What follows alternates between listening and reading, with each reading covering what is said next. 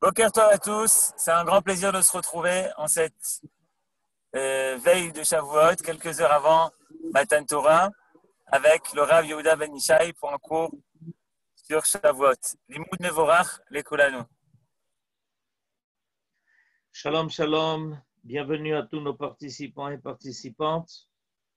Euh, comme vient de le dire Johan, notre ami, on se prépare maintenant à la fête de Shavuot, qui est peut-être euh, un des points les plus culminants dans l'année, puisque, en fait, on vit toute l'année de la Torah.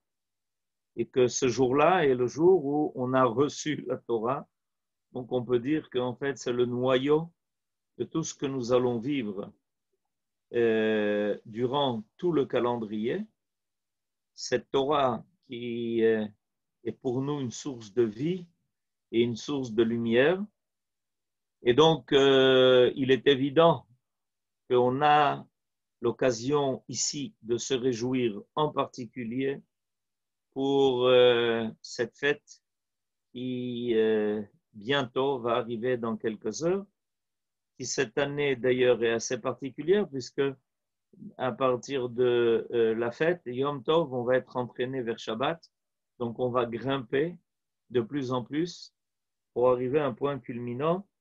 On aura l'occasion aussi d'en parler dans les cours qui seront dispensés pendant la fête de Shavuot, évidemment pas par Zoom, mais en direct, dans le cadre de la communauté. Alors aujourd'hui, je voudrais m'attacher à un point très particulier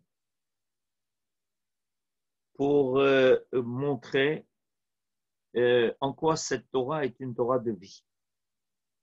Et je vais en fait vous euh, citer un passage de la paracha de Vaetranan.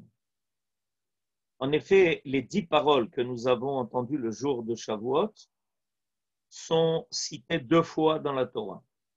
Une première fois dans la paracha de Yitro et une deuxième fois dans la paracha de Vaetranan, quand Moshe Rabbeinu va faire le résumé à la fin de la Torah de tout ce que les enfants d'Israël ont vécu. Et alors, il euh, reprend les dix paroles, les dix commandements appelés les dix commandements ont déjà été euh, entendus euh, lors du Sinaï. Et ça se trouve dans la paracha de Yitro. Et dans la paracha de Vetranan, il revient là-dessus, mais il rajoute quelque chose d'intéressant et d'important. Dans le chapitre 5 du Chumash Devarim, au verset 27, il nous révèle qu'après le don de la Torah, Akadosh Baruch a demandé à Moshe Rabbeinu de transmettre un message particulier aux enfants d'Israël. Alors je lis le message.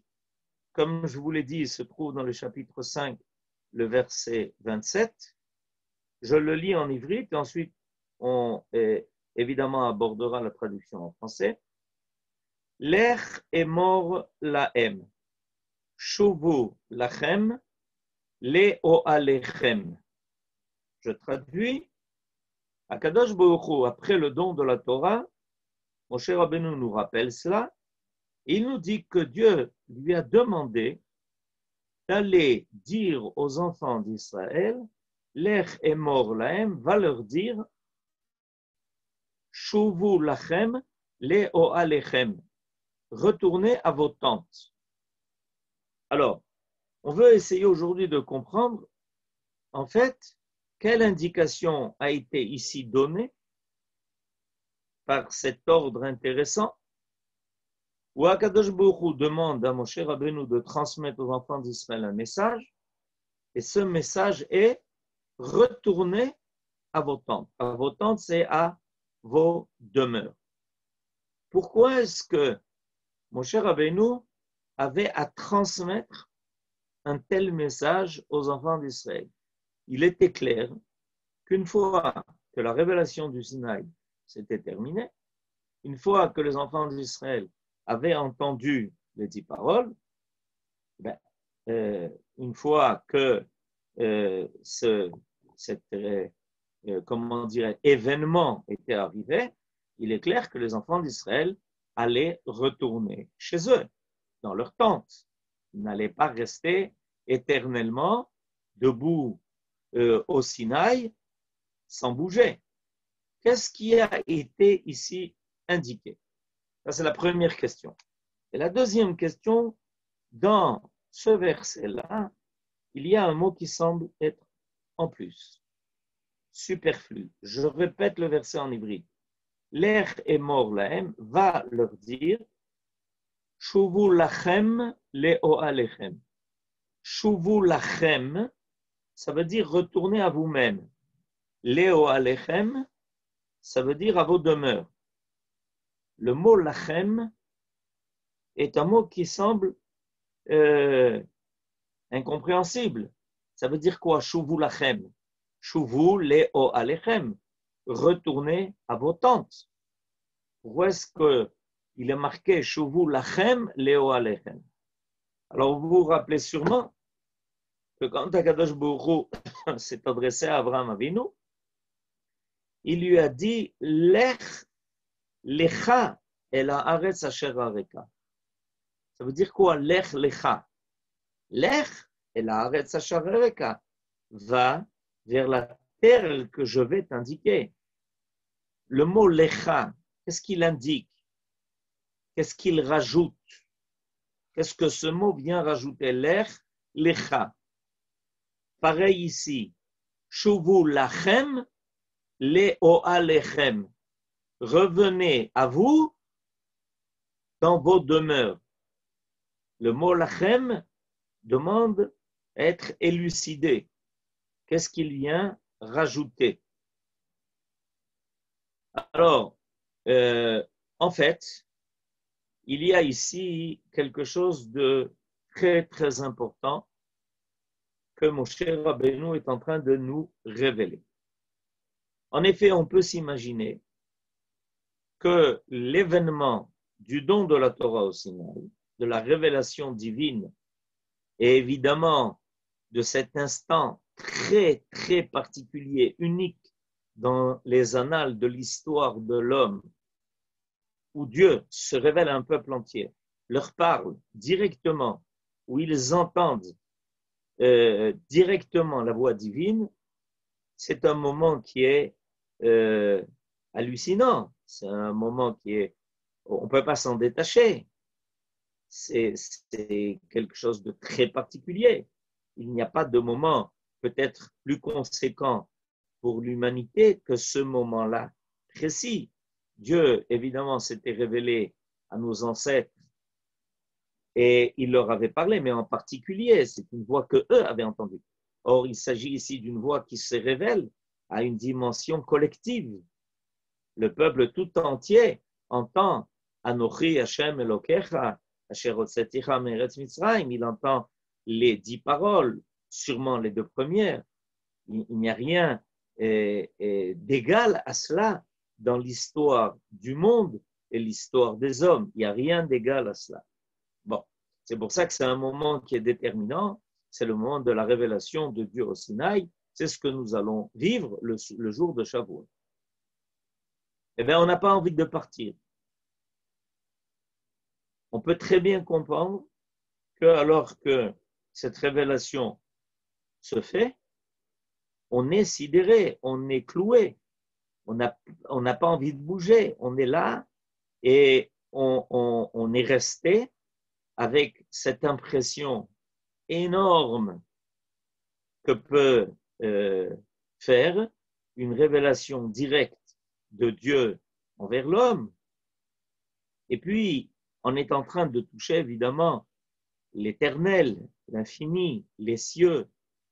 Tout s'est ouvert, les cieux se sont ouverts. On a vu des choses que on ne reverra jamais. On a entendu des choses avec un contenu qui est est, indéfinissable par des mots. On est dans le monde de l'infini, on est dans le monde du total. On n'a pas envie de bouger.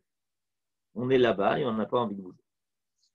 Et en fait, euh, déjà au début du Chumash Dvarim, il nous est indiqué que Moshe Rabbeinu finalement a dû, d'une certaine façon, arracher les enfants d'Israël du Sinaï où ils sont restés pratiquement un an. Ils n'avaient plus envie de bouger du Sinaï. D'accord? Ils, ils, étaient à l'endroit le plus idéal, le plus extraordinaire, où ils avaient vécu ce moment-là.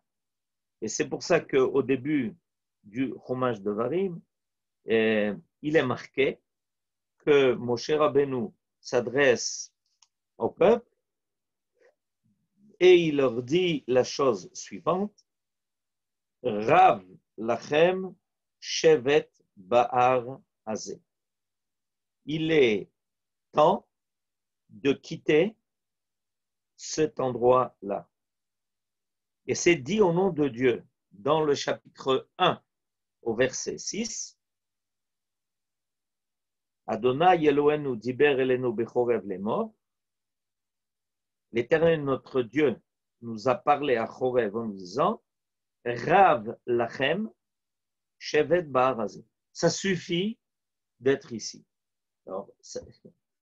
Comment on peut entendre une chose pareille? Dieu nous dit ça suffit d'être au Sinaï.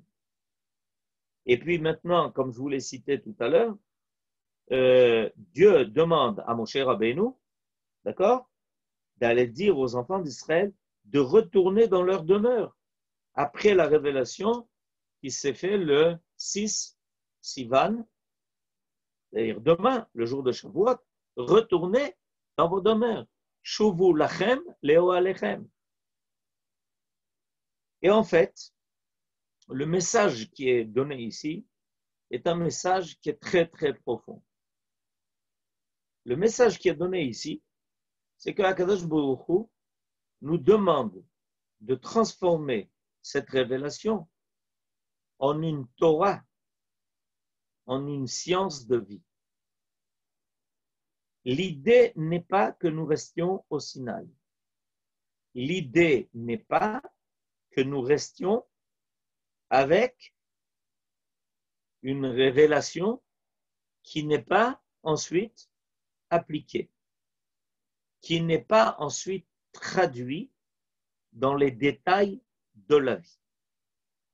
En nous indiquant de rentrer dans nos tentes, de rentrer dans nos demeures, en fait, Akadosh Bourou est en train de nous dire, maintenant que vous avez bien compris que je suis là, maintenant, maintenant que vous avez bien compris qu'il y a une science qui s'appelle la Torah, qui est la science de vie, Torah Trahim, c'est maintenant le moment de commencer à l'appliquer, la traduire dans vos demeures, dans vos tentes. Il nous est arrivé le même phénomène 440 ans plus tard. 440 ans plus tard, c'est quoi exactement? 440 ans, pardon, 440 ans et euh, en plus, 40 ans du désert, c'est ensuite, en fait, c'est 480. C'est 440 à partir de notre entrée en Eretz Israël et c'est 480 à partir de la sortie d'Égypte. Qu'est-ce qui nous est arrivé donc 480 ans après la sortie d'Égypte, donc après le don de la Torah au Sinaï, est arrivé un événement de plus extraordinaire. Cet événement de plus extraordinaire, a été l'inauguration par le roi Salomon, le roi Shlomo, du Beth Amikdash. Le roi Salomon a fini de construire le 480 ans après la sortie d'Égypte.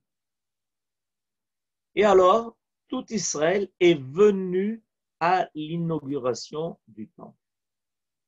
Vous comprenez bien que l'inauguration du temple a été évidemment à nouveau une révélation, parce que Dieu s'est manifesté lors de l'inauguration du temple de la façon la plus évidente et la plus percutante, et les enfants d'Israël sont venus et ils ont vu la Shrina, ils ont vu la présence divine occuper cette demeure que le roi Shlomo, Salomon, a construit pour que Dieu ait une place sur terre.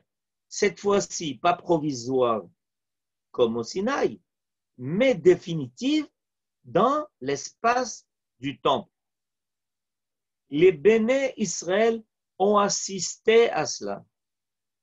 Ils ont vu tout d'un coup que Yerushalayim, l'esplanade du temple, le Beth Amikdash, est devenu une demeure pour Akadosh Baruch Avec évidemment tout ce que ça implique, c'est-à-dire des miracles extraordinaires, un temps qui n'est plus, qui n'est plus un temps, qui n'est plus le temps, un espace qui contient plus que ce qu'il est défini par la géométrie, puisque tout Israël peut se réunir non seulement à Yerushalayim, mais dans l'enceinte du temple.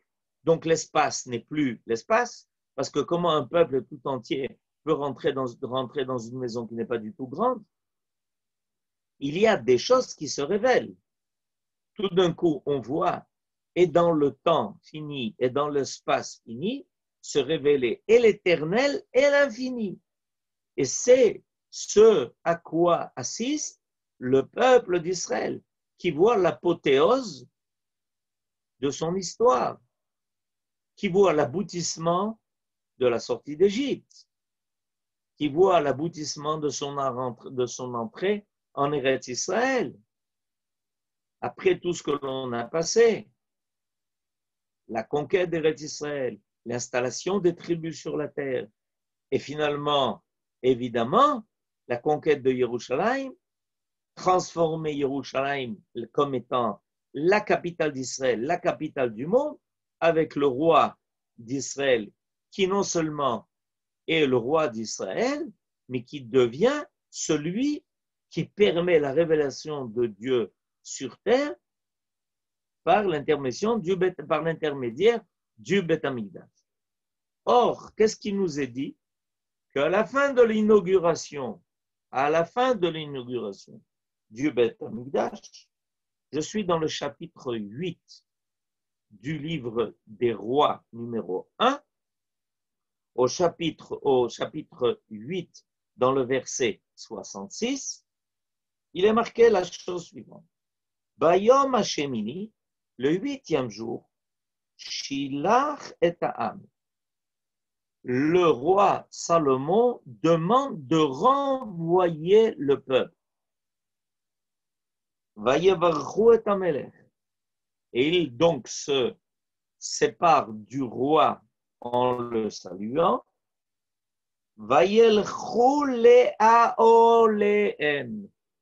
Et ils sont retournés à leur tente à leur demeure. Smechim, heureux, veto velev, d'un cœur joyeux. Alors, qu'est-ce qui nous est dit à nouveau ici? Ben, Le même principe. Le roi Shlomo doit renvoyer le peuple d'Israël à ses demeures. Pourquoi? Parce que le peuple d'Israël ne peut plus quitter Jérusalem. Parce que le peuple d'Israël ne peut plus quitter le Beth Amikdash. La révélation à laquelle il assiste est tellement phénoménale. C'est l'aboutissement de l'histoire du monde, de l'histoire de l'homme, que Dieu ait sa place parmi eux, sur terre. À nouveau, les cieux se sont ouverts et à nouveau, la présence de Dieu se fait sentir et il y a une espèce de proximité, de voisinage, shrina, présence divine, vient du mot shrenut, qui veut dire voisinage. Que les enfants d'Israël ne peuvent plus quitter, ils ne peuvent plus abandonner ça. c'est l'extase totale. On ne peut plus bouger de cela, de cette révélation extraordinaire, phénoménale à laquelle il vient d'assister avec l'inauguration du temple. Donc on voit à deux reprises le même phénomène. Lors du don de la Torah au Sinaï, lors de l'inauguration du temple à l'époque du roi Shlomo. Mais c'est la même chose en fait, parce que évidemment, le Sinaï, c'est la révélation de Dieu sur cette montagne et les enfants d'Israël sont là et ils voient les cieux s'ouvrir. Et dans le cadre du temple construit par le roi Shlomo, c'est en fait cette révélation qui devient maintenant permanente. Tout celui qui vient au Beth Amikdash peut prendre conscience de la présence divine et des miracles qui se font en permanence à Yerushalayim et dans le temple, comme nos sages nous l'indiquent dans Pirkei Avot. On ne peut pas quitter ça. On a envie de rester là-bas. On n'a plus envie de bouger. On est trop bien. On est en train de goûter aux délices de la proximité de la divinité. On est déjà dans le Olam On est en train de revivre une catégorie de Gan Eden. C'est ce qu'on est en train de vivre. On l'a vécu au Sinaï, on le vit avec l'inauguration du temple avec le roi Shlomo, on n'a plus envie de repartir chez soi. Et dans les deux cas, on entend qu'il y a un ordre qui est donné au peuple. Cet ordre qui est donné au peuple est de repartir chez soi, de retourner dans les tentes. Comme je vous l'ai indiqué, aussi bien dans la parashat de Vaïtranan que dans le livre de Melachim, on nous envoie, renvoie dans nos domaines. Pourquoi? Parce que Akadosh Baruch en fait, réclame de nous, après s'être muni de cette Torah, après avoir connu ces délices-là de la révélation divine, aussi bien au Sinaï que dans le Beth Amikdash, il nous demande maintenant d'aller traduire ça dans notre vie courante, dans nos demeures, dans nos maisons, dans nos couples, avec nos enfants. Le mot OL, par nos sages, est interprété comme la vie que l'on vit en famille. Chacun en tant que couple, en tant que parents, finalement. Ce sont nos demeures, c'est notre vie privée. C'est une vie qui, des fois, est tellement privée que personne ne sait ce qui s'y passe. Nos sages nous parlent de Oale Yaakov. Matovu Oale Yaakov. Mishkenotecha Israël. Les tentes sont fermées. S'y passe des choses qui ne regardent que ceux qui y habitent, que ceux qui s'y trouvent, que ceux qui y demeurent. Et vous demande de cette lumière, cette chose sublime que nous avons connue au Sinaï, au Beth et de le prendre comme bagage chez nous, dans nos tentes et nos domaines. Matovu o alecha. Quand Bilam constate cela, quand il va amener par Balak venir voir le camp d'Israël, c'est ça qui cause chez lui une stupeur. Il comprend tout d'un coup qu'il a devant lui un peuple qui vit cela au plus profond de leur espace privés, dans leur oalim, dans leur tente, matovu oalecha Yaakov. C'est une chose qui n'est pas facile à faire. C'est un défi qu'il faut relever. Parce que, évidemment, quand on est au Sinaï ou quand on est au Beth on peut comprendre comment facilement on n'a plus envie de mener autre chose qu'une vie qui est divine, qu'une vie qui est totale, qu'une vie où règne l'idéal, le bien, le, le, bon, comment on a envie d'être attaché à Akadosh Baruch par nos pensées, par nos paroles et par nos actes.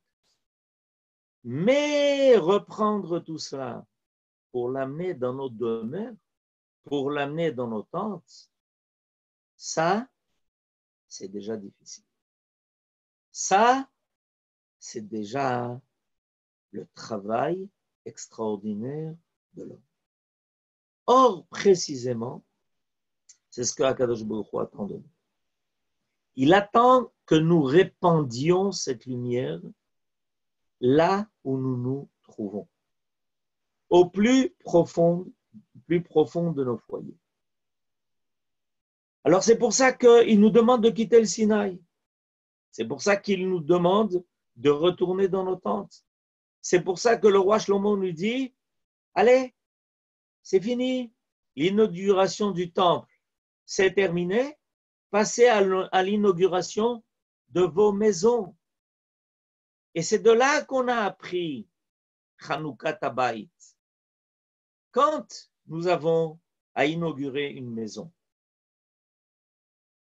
Alors qu'est-ce que nous faisons? On fait la même, chose que ça. On va évidemment inaugurer notre maison en y faisant entendre la Torah par une étude, en invitant des invités qui vont venir et prouver que notre demeure est, ouverte à tous. Et puis, ils vont voir une demeure où, en principe, on doit sentir une présence divine. Et on va faire dans notre demeure ce que l'on a constaté au temple. On va allumer des nérotes. De la même façon qu'au temple, on allumait la menorah, le chandelier. On va mettre des chalotes. De la même façon qu'au temple, il y avait les pains qui étaient exposés sur la table de l'Echem Apanim. Il va dans nos demeures et avoir des odeurs extraordinaires et sublimes. De la même façon que au temple, on a senti la ktoret, l'encens.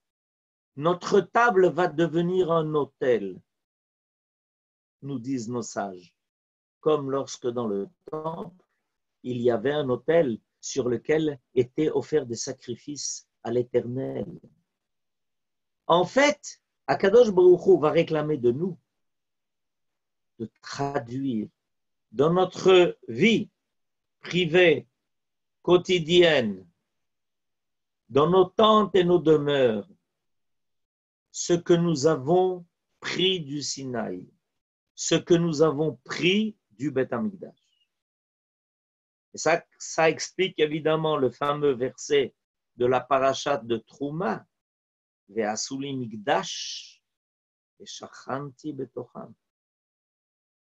Et ça, c'est le grand secret du Sinaï, de l'inauguration du temple. Repartir dans nos demeures et y vivre. Dans le traité de Yebamot, alors, il y a euh, indiquer combien il est important pour l'homme de vivre une vie qui soit idéale qui comprenne une vie qui comprend en même temps un homme et une femme. Et il y a quelque chose d'intéressant qui est dit là-bas. Bemarava Amre, le Talmud de Babylonie cite la Torah d'Eret Israël, qui s'appelle Bema'arava, à l'ouest, parce que Eret Israël est à l'ouest de la Babylonie, à l'ouest de ce qui est aujourd'hui l'Irak. Et en Eret Israël, on a l'habitude de dire Belot Torah, un homme qui vit sans femme, tout celui qui n'est pas qui n'a pas construit de, foyer, Kol Adam she'en lo belo Torah. Tout celui qui n'est pas marié, qui ne vit pas une situation idéale, familiale, et est un homme qui vit sans Torah. Quel rapport pourquoi, là, pourquoi un homme qui n'est pas marié vit sans Torah? Ça, c'est l'enseignement qui est donné en Eretz Israël. La réponse est qu'en Eretz Israël, on sait que les mondes sont unis l'un à l'autre. Il n'y a pas le monde du Kodesh et le monde du Chol qui vivent comme des mondes séparés, le profane et le sacré. En réalité, nous avons comme rôle, nous avons comme devoir d'intégrer les mondes, de faire que le Sinaï soit chez nous à la maison, de faire que le Beth Amidash apparaisse dans nos demeures. Et c'est pour ça qu'en Eretz Israël, et c'est le Talmud babylonique qui le dit, voilà la vie d'Eretz Israël est différente. C'est une, vue, c'est une vie où les valeurs sont intégrées l'une à l'autre. On n'a pas besoin de rester au Sinaï. On n'a pas besoin de rester au temple pour pouvoir vivre la Kedusha. En Babylonie, c'est beaucoup plus difficile. Il y a un clivage énorme qui se fait entre le Kodesh et le Chol. Si on veut goûter un peu au Kodesh, alors il faut être dans une yeshiva, il faut être au Bet Knesset, il faut aller prier. Et en dehors de cela, il est très difficile de goûter au Kodesh. Il est très difficile d'intégrer ces valeurs dans la vie quotidienne, dans la vie privée dans la vie familiale. Ce sont des mondes qui paraissent tellement différents et séparés l'un de l'autre. Mais le Talmud de Babylonie dit que Bema'arav, en Eretz Israël.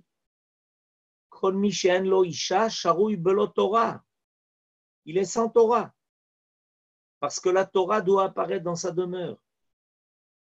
Parce que la Torah apparaît dans cette complémentarité qui se fait d'une vie qui est totale et qui rassemble les forces aussi bien d'un homme que d'une femme, que ces demeures où apparaissent la vie, une vie familiale, où dans le cas de cette vie familiale, on peut très bien vivre le Kodesh, où la Torah est présente, où les demeures sont éclairées, où il n'y a pas les mondes qui sont déconnectés l'un de l'autre.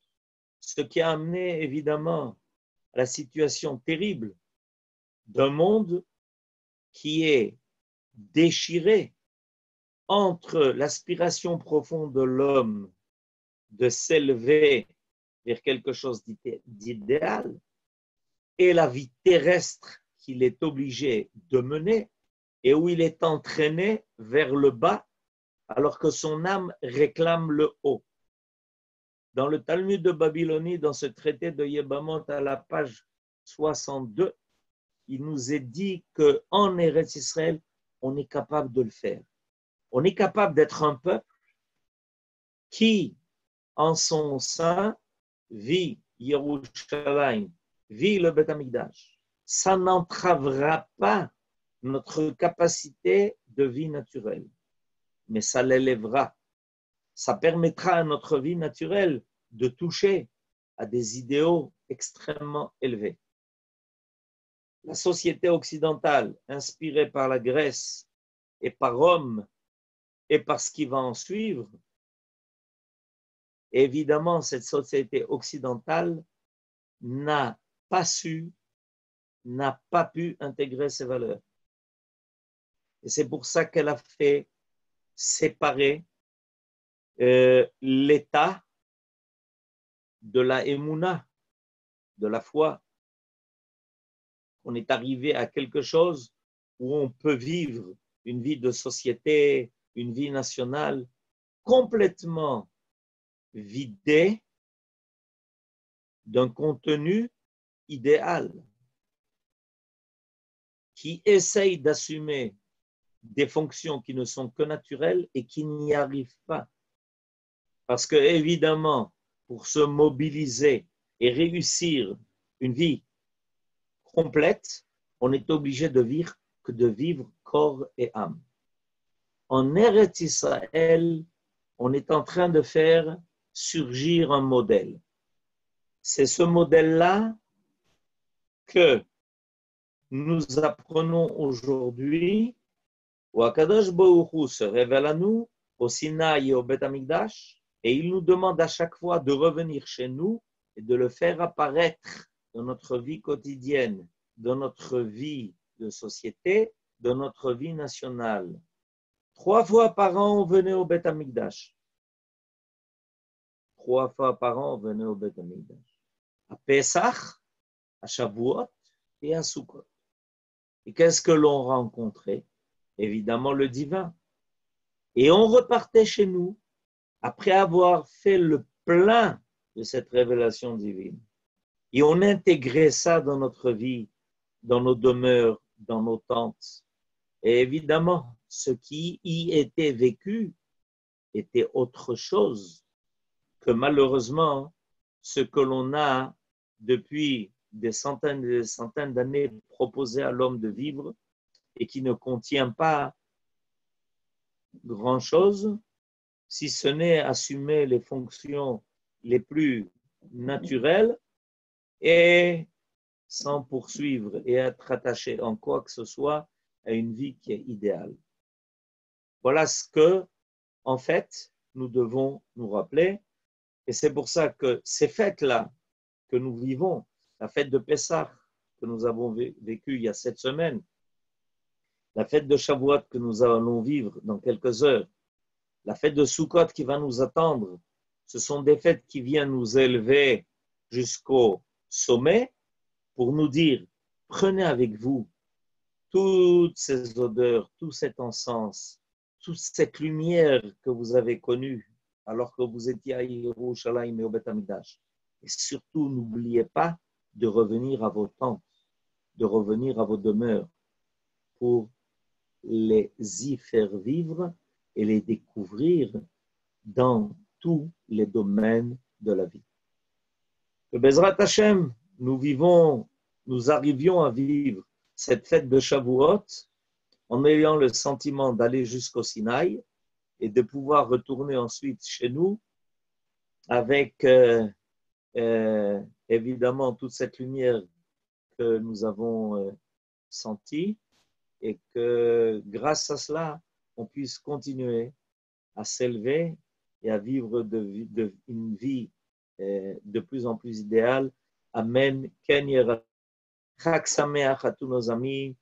Chag Sameach et, et, Shabbat Shalom, puisque nous allons vivre évidemment euh, à la fois euh, Chag Shavuot et de Chag Shavuot on va passer à Shabbat, quelque chose d'extraordinaire. Be'aslacha. À bientôt. Aussi bien nos amis en Eretz Israël que à nos amis en Chutz Laaretz. תודה רבה. תודה רבה. תודה רבה רב. חג שמח לכולם, c'était un תודה plaisir. רבה, תודה רבה, רב. חג שמח לכולם. Finir en chanson. Et vous pouvez également sur le chat nous dire où est-ce que vous habitez pour voir jusqu'où arrive la Torah d'Eretz Israël. Voilà, moi j'écris Jérusalem. Je vous invite sur le chat à nous dire Chag Sameach et à nous dire de où est-ce que vous nous écoutez. Voilà, on finit en musique avec une chanson d'Ishaï Ribo qui nous parle de l'amour de la Torah. כמי שעסק בלקראים וראה אנשים מלאכים שמיתו עצמם עליה וקיבלו ממנה חיים